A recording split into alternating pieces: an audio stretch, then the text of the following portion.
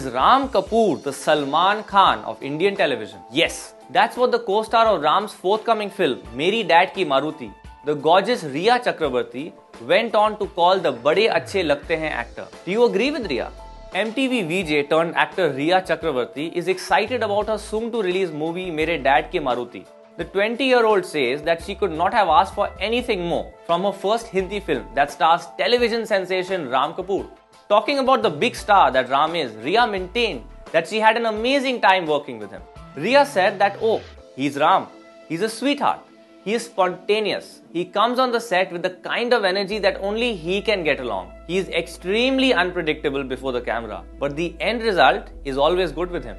He will comfort you, play pranks on you, and if we talk about his popularity, well, Ram is the Salman Khan of television.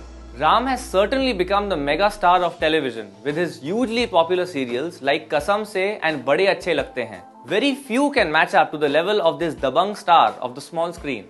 Kapoor's female fan club will surely agree with us on this.